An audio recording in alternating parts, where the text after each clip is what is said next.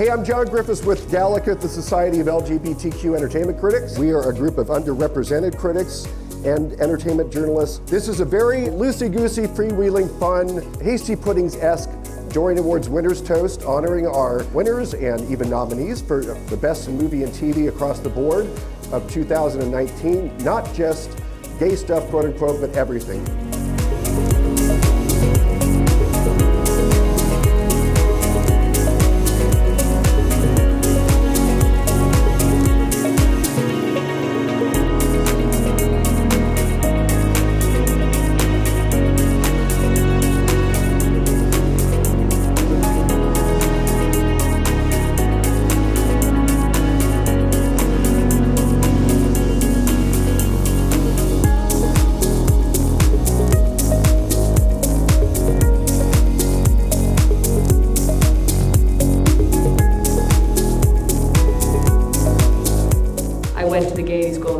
Dublin, I was able to train. The gaiety. The, the gaiety.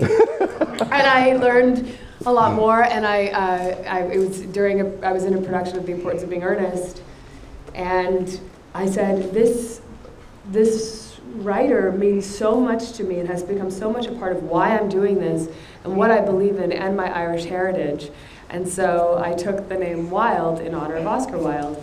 And now the best part of that is that occasionally his incredible quotes are uh, given to me, misquoted as my own. and I love seeing like teenagers on Twitter giving me some of the greatest Oscar Wilde.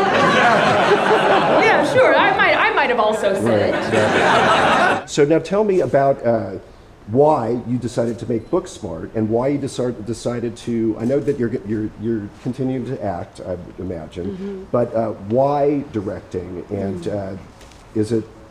Do you enjoy it more than acting?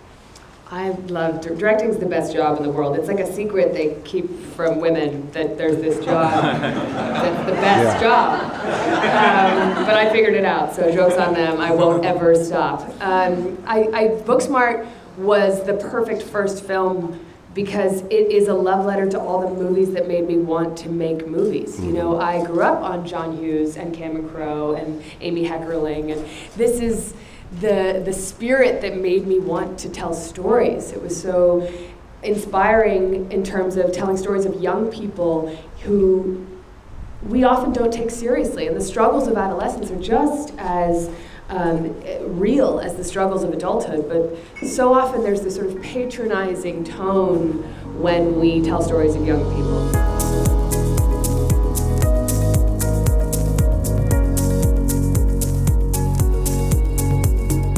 I really take a lot of pride in being a part of the movement to tell stories that humanize all of us. And uh, so I just want to say this actually means a lot to me. I'm very happy to be here. Thank You're going to make me cry. I just.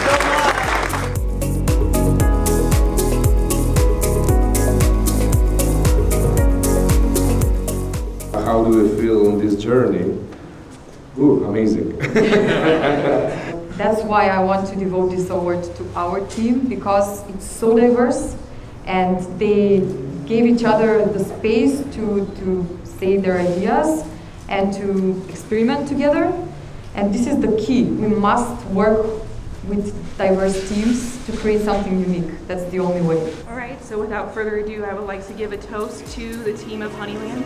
Thank you guys for your amazing work on this documentary.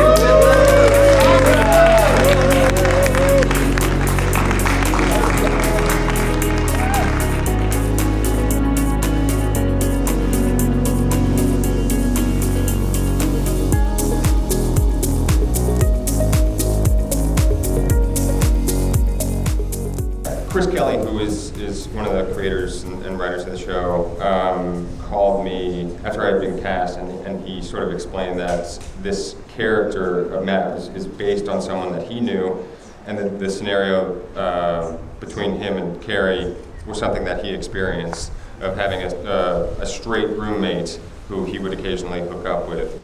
he seems sort of oblivious to the emotional part. Like everyone who's hooked up with their straight friend. Anybody out there? And you're all in love with them, and the next day you're like, "Are we gonna do brunch?" And what do you mean you're going out with your girlfriend? But your character really seems to care about him and sort of, a, you know, I don't know if it's superficial, but he, cares about him. He doesn't really know what he's doing. Uh, no, no, he, he does not. Um, I think he's just having a little bit of fun and um, and doesn't realize how how serious it is to to Carrie um, and how much he does care about him. Um, so in that way, yes, Matt is kind of a dickhead. You guys really.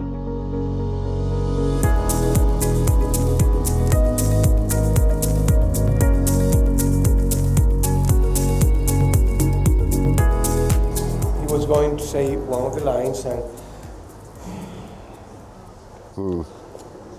and he couldn't. And the line was, "Mother, I'm sorry that I was not the son that you expected me to be."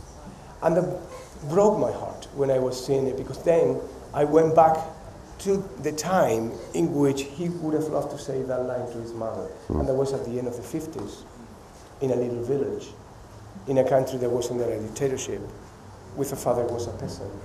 And the meaning of being homosexual in that environment at that time, it must have been incredible, very strong. And the way you delivered that line in the movie was with such a uh, resignation, but sort of light.